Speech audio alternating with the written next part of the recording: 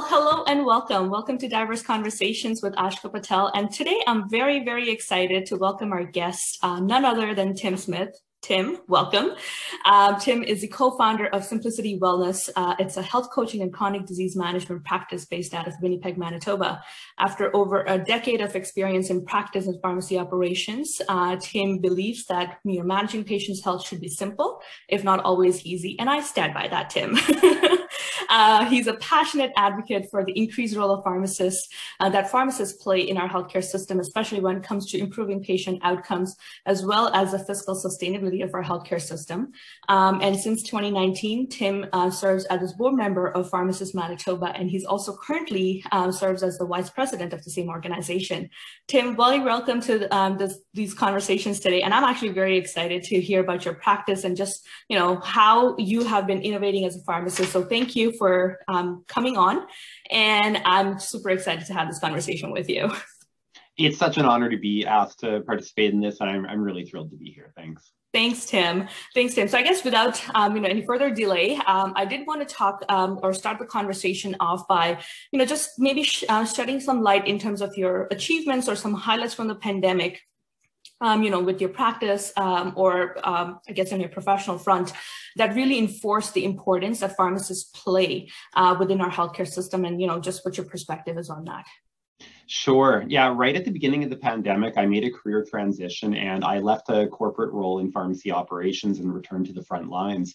And I spent most of the pandemic um, actually working in rural and remote communities across northern Manitoba and northwestern Ontario, um, serving mostly um, Indigenous clients. And it, it was a tremendous honor to me. And it really relit the passion I have for direct patient care and, and really reinforced to me that I want to be on the front lines somewhere. So for me, you know, some of the things that I felt were really important was providing evidence-based information, of course, related to COVID and the COVID-19 vaccines and, you know, addressing the questions, concerns, vaccine hesitancy issues that, that people have. But I think beyond the pandemic, um, specific issues, I think, you know, a, a lot of people's chronic health conditions were you know, challenged in terms of their management, uh, lack of access to other providers, people's attentions just focused elsewhere. And so really having the opportunity to dig in on conditions like diabetes, hypertension, COPD, and try to engage in comprehensive medication management, I think is really essential. And it's really um, an area that we as pharmacists, you know, can thrive in. Uh, I agree. And wow, that's um, that's amazing in terms of just the amount of experience and your motivation. I mean, we all know the challenges that exist within our remote communities, especially with our indigenous populations. And, you know, for you to take that a step forward and, you know, actually create a business out of it or a business idea to help support that, those communities um, and, you know, patients at large, I think speaks volumes to your dedication to patient care. And I commend you for that. Um, I guess, and that kind of leads me to my next question is, you know, uh, because, uh, as you are an innovator and an entrepreneur in community pharmacy practice and like, you know, creating an innovative model, how did you land on this idea to create this business model and like, you know, to go ahead with it? Because I know innovation in pharmacy can sometimes be, um, inhibitor because you know we are a little hesitant to try new practices or try new business models because of the regulatory framework and everything else that exists you know what motivated you to just do something innovative? Yeah, I think after, you know, over a decade in practice, I've come to learn what I like about, you know, healthcare and about pharmacy practice and what I don't like or what I would like to spend less of my time doing.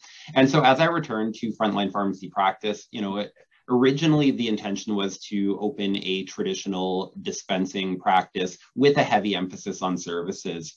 And as time went on in the pandemic, and I was working at a number of different other pharmacies across Manitoba and Ontario, you know, I really came to revise my vision for what I wanted to do. There are, you know, many great um, you know, dispensing traditional pharmacies in communities all across Canada. And it seems like a new one is popping up on a corner every week at this point. And it's, you know, although I thought I had a strong differentiator, is what we need really another competitor into the marketplace? And so I saw the idea of focusing strictly on services with no dispensing component to be an area that really suited my collaborative spirit. I don't want to be out there competing with my colleagues. I want to help be a force multiplier for them and for the other physicians, nurse practitioners, and allied health providers. So Simplicity Wellness was born from a desire to really help elevate other people's practice. We know there is so much need for advanced scope services. Our clients are sicker and sicker, even though they're living longer and longer. 40% of Canadians have one chronic disease, more than one in 10 have multiple chronic diseases. And quite simply, our healthcare system isn't getting the job done. We can't abandon our traditional role of dispensing medications and managing medication therapies like that, but we also need opportunities to go deeper. And so, you know, rather than just be, you know, one one needle in a haystack out there in, in the pharmacy landscape i really wanted to see how can i work with other people and help you know bring the care to their clients that they know that they need but can't necessarily deliver themselves at all times for sure. And I, I, agree with you. I mean, I think the pandemic really put a highlight on that, right? In terms of how important chronic disease management is for patients. And unfortunately, because of the, the open and close and all the mixed messaging and communication that happening, it was creating a lot of confusion for patients of where do they go uh, for their healthcare needs. And I'm, I'm glad that you um, served, um, you know, to those needs and by creating this practice of yours, because I think that really makes a big difference. And I think that leads me to my next question is, you know, uh, scope of practice is also very, always very important when we're looking at innovation and, you know, how we're trying to create a difference in, uh, for our patients. How did you feel supported or like, you know, how, what where are there any changes you would like to see to the scope of practice especially in manitoba because that's what you that's where you primarily practice um, to kind of help support you support your patients yeah, I think it's a really interesting question because I am licensed in four jurisdictions and the scope that I have available available to me differs so tremendously depending upon what side of which border I'm standing on. Mm-hmm. And so here in Manitoba, we are very challenged, um, both in terms of scope of practice, but especially in terms of public reimbursement for services. And this continues to be an ongoing battle. And it's one of the reasons I joined the board of Pharmacists Manitoba was to be a strong advocate for the enhanced role of pharmacists in the healthcare system. Um, you know, from my perspective, you know, there's really kind of two sides of the cookie that we're nibbling on. One is kind of the minor ailment side, where we're taking, you know, some of the low hanging fruit away so that physicians and nurse practitioners can focus on the more complex clients. And I do think there's a role for that because pharmacy plays, um, you know, is extremely convenient and extremely accessible. But that said, for me, maybe it's just my interest, but I also think it's it's the more important one from a social role is where we play on the more complex, the chronic disease patients, and how can we support physicians, nurse practitioners, and other healthcare providers in a collaborative setting to help drive better health outcomes. So, you know, as I mentioned, you know, we're seeing our clients get sicker over time, and we're also seeing our healthcare budgets increasingly stretched what we're doing is not working both fiscally and clinically. And so I think that's the real opportunity for us. So I would like to see increased scope of practice related to comprehensive medication management, a pharmacist prescribing for Schedule One drugs across a wide variety of conditions, if not, you know, blanket all, all open, and reimbursement for medication management services, because this is the real um, opportunity for us. I agree. I agree. And you you hit all the all the points uh, in terms of you know what are our needs and lacks. And I think um, you know basically what I'm also hearing is like we need a harmonization of our scope of practice throughout the country so that, you know, when a patient visits a pharmacist or at a pharmacy, like, you know, they know what to expect out of that pharmacist and not necessarily be confused of, okay, I'm getting this in Alberta, but I'm not getting this here, right? Um, and um, obviously we all know Alberta is the most advanced when it comes to our scope of practice. So we all have a lot of catching up to do to meet that par. Um, so I guess. And, and I'll say, sorry, I just want to interject there. Yeah, no. And interestingly, I know pharmacists from Ontario quite often feel left behind in terms of scope and practice and reimbursement. Yes. But from my perspective, as someone sitting on the western side of the Manitoba Ontario border, my practice is greatly elevated when I'm in Ontario, to be quite honest. Right. Um, you know, the ability through the MedsCheck program to have, have a publicly funded mechanism to deal with clients who have chronic disease, especially diabetes, really um, puts front and center that medication management aspect. Also, the fact that uh, Ontario enacted most of the Section 56 exemptions to the CDSA was tremendous.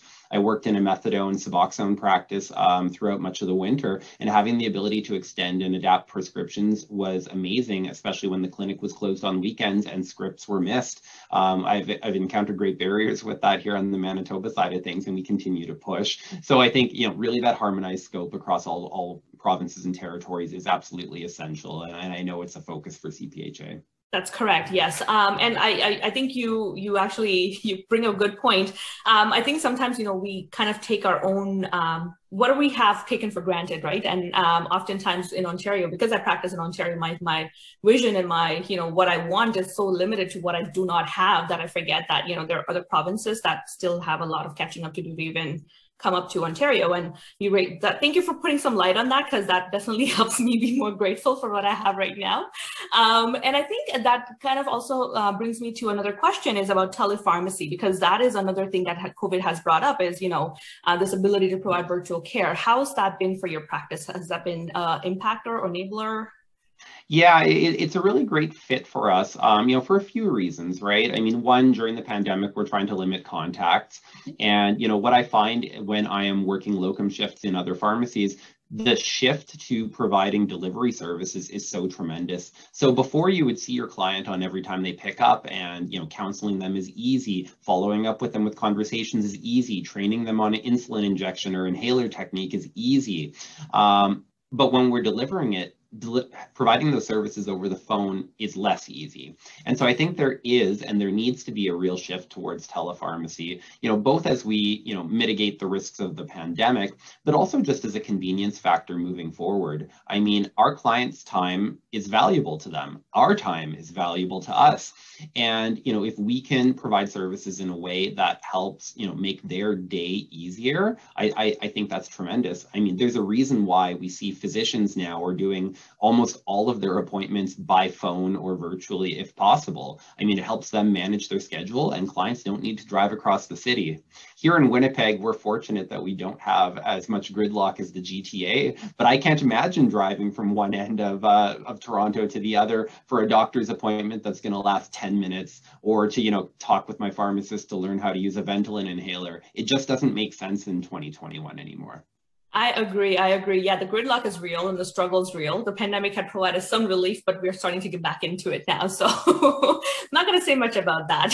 but so uh, in, in, I guess if you had to sum it up, uh, the future of telepharmacy, how do you envision it? Or like, you know, where do you see that going? Yeah, I, I mean, I, I, think in some circumstances there is no substitute for in-person care, and you know there will always be a role for that. But I think especially as you know disruptors into the pharmacy space, such as mail order pharmacy and especially Amazon, which we all know is on the horizon, um, delivery is going to become more and more prominent. And so you know either we're going to be abandoning the standards of practice that we need to uphold, which of course cannot happen, or we need to find alternate means of delivering the care that we're used to providing. And you know, part of it is a generational shift as well. Um, you know, as, as, you know the the boomers age on, I, I, mean, many of them are very technologically adept already. Um, and you know, unfortunately, as the generation older than them passes on, you know, everyone out there will be comfortable with technology to some level or another. Um, so I, I think it's really just it's going to grow from here, and I I don't think we're going to see it shrink back after the pandemic. I agree with you. On, I, I agree with you on that too. I, I do think like, you know, as you said, like this, the telepharmacy actually helps all of us in a way, like it, it's a more symbiotic relationship where, which where, you know, everyone's benefiting out of it. Right. And I mean, it helps pharmacy kind of decide on their staffing and their workload and, you know, how do they need to schedule based on the appointments that are scheduled for, you know, the pharmacist, pharmacy technician, whoever it is that's providing that service. So I agree. I am optimistic, but we'll see how it goes because this pandemic has been unpredictable. Everything that has come out of it is unpredictable. So we'll see what happens. And um, I do want to speak to there's also a great opportunity for pharmacists in terms of like remote patient monitoring as well. Yes. So, you know, before if we wanted to review someone's diabetes logbooks with them, you know, they have to bring in their pen and paper and sit down with us. And now, you know, they don't even need to push the information to us. We link with them, can rev review from their OneTouch or Contour or, or you know Libre monitor, and then we can hold a virtual consultation with them. Bluetooth enabled, um, you know, blood pressure monitors, sleep monitors, exercise and fitness trackers. You know, we have the opportunity to do so many things remotely now. And so I think it's really just a matter of our practices catching up to where the technology is letting us go. I agree, and I and I also feel like you know we need to have a little bit more flexibility with our regulations as well because I think sometimes our regulations can constrict, um, you know, how we're able to provide these services. And I know, like you know, in Ontario, we had to have our college, you know, kind of tell us that it's okay for us to provide virtual care. Um, and so I think we also need to look at it from a regulatory framework, and yeah, I'm sure um, you you would agree because you know that regulatory framework really dictates how we provide our practice or our, our services to our patients. Um, and I think that kind of is a good segue because in the next part, I wanted to focus on was some of the challenges because, you know, we've spoken about the highlights and everything else, but I wanted to also speak to some of the challenges and barriers. Um, you may, you have already alluded to some of them, but I think it's important that we have a conversation about it just so that you know, it helps all of us kind of understand where we need to go together um, to fulfill our fullest potential as pharmacists, innovators, entrepreneurs, um, you know, to help our patients, but also, you know, to get that professional satisfaction, because I think that sometimes we do not talk much about because we are a healthcare profession. So we are always about patient outcomes and patient focus. I agree. But I think you also need to have that career satisfaction for you to sustain yourself in this career for X number of years that you see yourself practicing, right? Mm-hmm. absolutely would agree with that. I mean, that, that that's why we embarked on this journey. You know, it's like been, uh, as I said, been long enough in this career to know what I don't like, and I have far too long left to practice to just keep banging my head against the same door all day, every day. I agree. I agree. And I think uh, me and you both can speak to this a lot because I think I've had a similar experience in a journey where, you know, tried a few things, did not like them, liked some of parts of it, not all of it. And then you, you, you create something that, you know, you, where you like the, you put together all the pieces you like and then you know that's the that's the path you choose for yourself so uh, in terms of what were some of the challenges that you experienced you know as you were coming up with this business idea and like you know just even implementing it into practice like what were some of the barriers that you experienced I, I, think the biggest thing is just with a, a new practice model, and especially one that has, is not sustained by any public funding whatsoever, is the fact that we can't rely on business to find us. I mean, if you open a pharmacy on, you know, an intersection of two busy streets, mm-hmm. even if you do nothing for marketing, some people will eventually come in the door just out of sheer curiosity. And because, you know, our services are strictly cognitive and primarily virtual, you know, it's really on us to develop and launch a, you know, know marketing plan and to really understand our demographic and their pain points and the value that we can provide to them and i'll say this is still like we're in the infancy of our journey here you know these aren't areas that we my partner and i have had any formal training in and very limited personal experience. So we're, we're still just at baby steps here but you know i feel like it's rolling like rolling a snowball down a mountain, right? You've got to keep pushing it for a bit, but eventually it's going to have the momentum to take care of itself. So I think that's the real barrier. And I think that's, you know, a real need for resources within the pharmacy community is in supporting um, business development, business growth, marketing areas like that. And, you know, the, um, the, the pharmacy management textbook that's available and, and the course that's available through OPA, I think it is, um, is, is a tremendous resource. I've, I've got the textbook as soon as it came out. I haven't taken the course, but that was something that as we were building our business plan and working through was a terrific resource for us. And I, I would love to see more continuing education on the business side of things and the innovation side of things at pharmacy conferences going forward. It's important for us to be clinicians, but if we can't get to a circumstance where we're engaging with our clients to put that clinical knowledge into effect, um, it's essentially meaningless.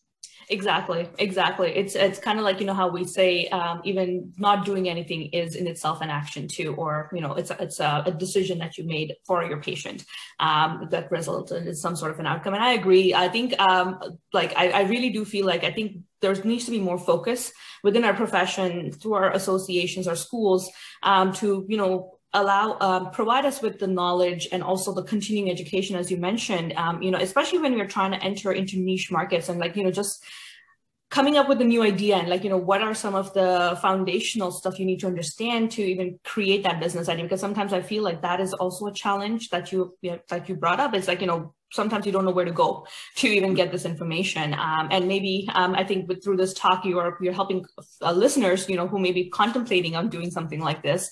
Um, you're helping them with your experience. So I think um, that is a great great asset. Um, and I think one of the things uh, reimbursement you've already spoken about because you know that that whole public funded model. Yes, we rely so heavily on it. Um, and I think with pharmacare coming, that is you know it's making me a little antsy in my chair is what I'm going to say. Uh, it has its good things, and you know, obviously, there's always challenges with any good thing. There's always an other side of the coin, um, and I, am just um, not sure how that's going to play out, but we'll we'll see. Uh, but uh, in reimbursement, um, do you find that there's any challenges when it comes to selling these services to your patients, um, and you know, having them kind of come on board um, to tap into your expertise? Yeah, I, I think as pharmacists, we are naturally very scared to ask our patients for money. Um, we want everything to be covered for them, uh, from the drugs to these services. And so, you know, I think that's a real barrier each of us has to overcome. And we had to really question ourselves on what our price point was going to be because you know what what will the market bear? What is the value we provide? And ultimately we settled on a much higher price point and a much you know more premium service because we can either help a lot of people at a mediocre level or we can help fewer people to a much more significant life-changing meaningful level. And quite quite honestly i'm going to be scared to ask them for money whether it's a little amount or a big amount so why not just go for it and make sure that you've got the funding that will sustain the level of services and care that you actually want to provide and will feel actualized by. And thus far, we have not had pushback on price from the people who have engaged with us. Um, you know, I think when you look out there at, you know, what comparable expert services are if you go see a lawyer you go see a mechanic you go see a you know a psychiatrist you're paying a fair chunk of change and we have that same level of skill, expertise, and training in our domain as well. And we shouldn't be scared to monetize it. Now, I recognize that, you know, in, in pharmacies that are dispensing, you know, they have other economic levers and, and revenue streams that they can pull on. So oftentimes services end up being as a loss leader. But I think that also ends up compromising the quality of the services in many cases because it really is an add-on. It's almost like the toothpaste you get sold at the till at Loblaws, right? It's here's let's just get a basket filler for you so you go home feeling happy. Um, but that that's not the value that we can provide. And so I really think getting into you know, you mentioned niches earlier. I think identifying the niche that you can serve or want to serve or have expertise in is essential. And then when you can position yourself as an expert in that area, you can command a lot higher revenue source from that. And I think ultimately doing that for fewer people is going to be a lot more fulfilling than doing, you know, trying to please everyone everywhere. Now, I believe strongly in, in health equity. And so from that perspective, I would love to see services like these publicly funded so that everyone has access to them. And certainly we're exploring partnerships with organizations so that we can help make sure that people don't miss out on this level of care. But I think at the same time, we have to set the bar really high and you know, providing a really high bar of services means asking for you know the money that funds them I agree. I agree. And you actually hit a very good point with that because I think we we need to be mindful of, you know, what do our services translate into in, in terms of outcomes for our patients. And, you know, being scared to charge a fee should not be our deterrence. It should rather be our focus should be on the quality of the care that we provide for our patients. As you said, like, you know, we can't just be serving um, services as a transactional, uh, you know, value it should it should have a core value that nobody else can replicate. Um, and i think you know mine and your both practices like that's actually what we rely heavily on is you know pr- achieving those outcomes for our patients and just making sure that they, they're living a good life so that they don't have to worry about the health uh, components affecting all the other parts of their life. So i agree like quality should be our focus and um, i'm hoping that you know as more services become available for pharmacists to be able to, uh, you know, provide to our patients on a publicly funded level, that you know we would, try to leverage the quality aspect of it rather than the volume of it, because uh, really there's not much we're going to achieve with volume unless we are creating quality outcomes for our patients. And you hit on something really great there on helping people live a good life. You know, it's not about the features that we have in our services, it's about the benefits we confer to the people who pay for them. And so I think that's really essential. And so that that's where you can justify that revenue from. Um, you know, people are people perceive Canada's healthcare system as publicly funded and free at the point of service. But you know, people pay for health and wellness in many different areas, you know, whether it is supplements, whether it's organic food, whether it's going to see a naturopath, whether it's gym membership, sports equipment, personal trainers. Canadians are willing to pay for health and wellness, um, but they need to perceive that you're going to help them live a better life. And, and so that's what we really need to communicate our value on is how can we help you have the energy to play with your grandchildren? How can we help you crush it in the C-suite? How can we help you, you know, you learn to walk again because you know you, you're not crippled by you know medications um, you know, it, it's that value that we can provide to them and really helping them envision their future self. What is life like now, and what is life like after these services? And th- that's what we really need to hit on in our marketing. Wow, that's amazing. I, I agree. Um, I agree, and I think we're both like you know very on similar page when it comes to um, you know just how can we best support our patients live a holistic and a good holistic life, right? Where they don't have to really worry about their health um, as being the the the barrier to leading that good life. Um, and I guess that kind of leads me to my next question, meaning you know how do we promote like how do we promote innovation within pharmacy? Because that has been something that I personally, in my personal opinion, I feel like you know we're slowly getting there like you know with early adopters like yourself um, who are really challenging the status quo of like you know i'm not saying traditional pharmacy model is bad or anything like that but i, I do feel like you know i think we we need some disruptors we need some innovators within our, our space to really take um, you know pharmacy and like what pharmacists can, are able to do for their patients and you know help bring it to spotlight. So what do you think can help promote that innovation within our profession yeah, I mean, I mean, first, I just want to say I think disruption is coming, whether we are the leaders of it or not. Um, you know, again, I, I mention Amazon every time I have a conversation on this, but you know, th- this is coming to the future of our profession, and private capital is coming in and buying up pharmacies, and there's consolidation in healthcare, and there's virtual care, and you know, all of these things are going to change. So we can sit there and let these forces change us, or we can try to, you know, get ahead of the tide. And you know, I, I think first and foremost, I, I, see you know so much great energy and ideas coming from new graduates these yes. days. I've been really fortunate to, you know, interview and encounter and network and get to know a number of uh, new, recent, and soon to be graduates um, from PharmD programs and, uh, you know, other universities across the country. And these are our future. And like they're, they're light years already ahead of where I was at similar steps in, in my career. But I think for those of us who have been practicing for a while, I, I think again, it, it comes down to we need to do a really good job of highlighting those who are innovating. And that's why I think your, your podcast is fantastic. We need to celebrate these successes. We need to hear about them. Um, pharmacy practice plus business magazine has been essential to me throughout my career. I have you know, especially, you know, in the first few years of my career working in rural Northwestern Ontario, you know, you don't get to see a lot of what's going on in the rest of the country. And so that magazine was my outlet to see who's really moving the needle in the rest of the country and, you know, learning about innovative practices, you know, people like Karleen Olekson, for example, who I, I really look up to as a standard bearer in pharmacy. Um, and I've had the opportunity now throughout my career to meet and get to know some of these people, and it's been a tremendous experience. So I think we need to continue to share that. We need to do that through our advocacy bodies. We need to do that through our social media. We need to we need the public to understand the innovation that is happening and the innovation that can happen. Because I think when the public understands in Ontario or Manitoba what they're missing out on that Albertans have access to, that's when they put the pressure on the politicians and that's when we see change happen. So I think we just need to celebrate the innovation, but we also need to be not scared to go out there and make it happen.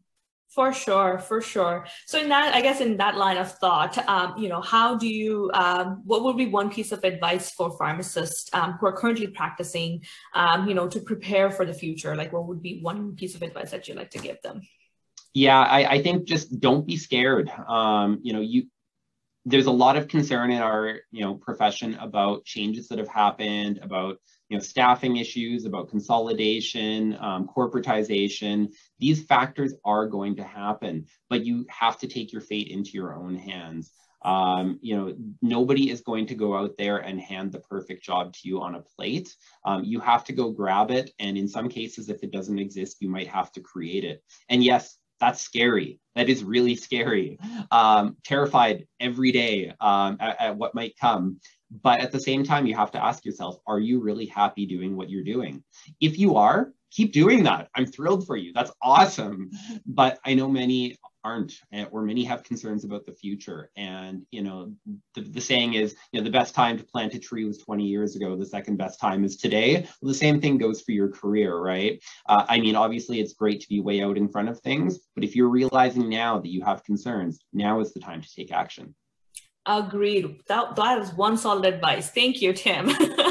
um, and and I guess one advice for um, you know pharmacy students. I know you work very closely with them, as you alluded to, and like you know, what would be one piece of advice for our students and our new grads who are about to enter a profession?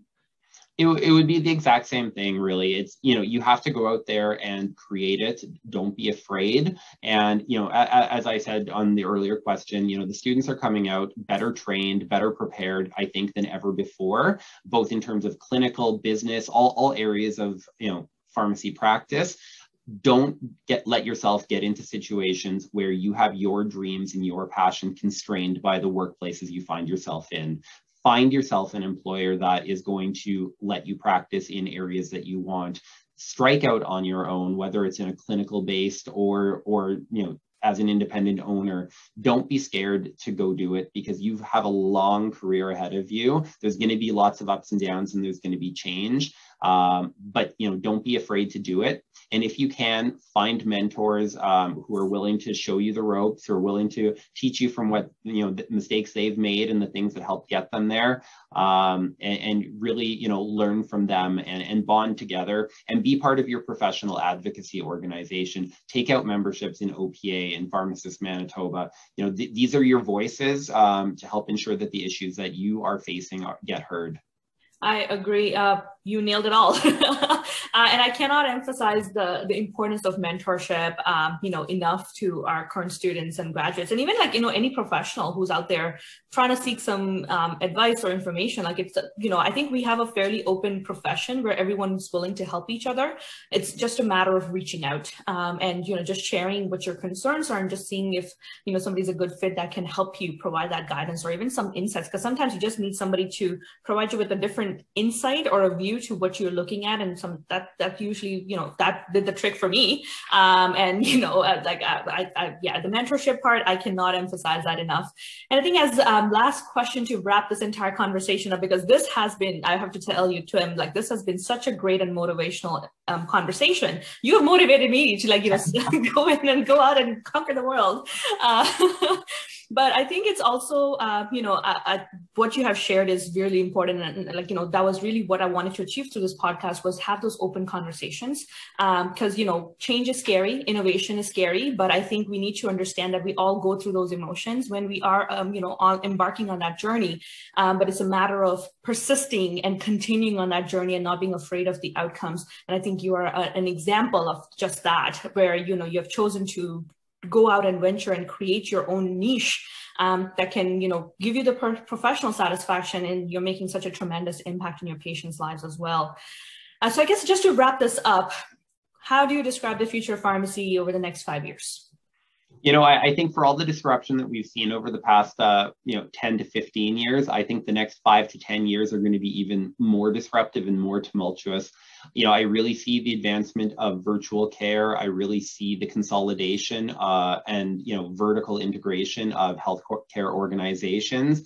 And, uh, you know, I've mentioned it twice. Will be the third time Amazon is on the horizon. And so, you know, if we think that the ways that we have been getting the job done are going to hold us well in the next five to 10 years, I think we're sorely mistaken. Change is coming and we, we need to get out in front of it. So if you are a pharmacy owner right now, I would strongly strongly encourage you to double down on services and find your niche because you are not going to be able to do it faster, better, and cheaper than Amazon. Like that, that's a given.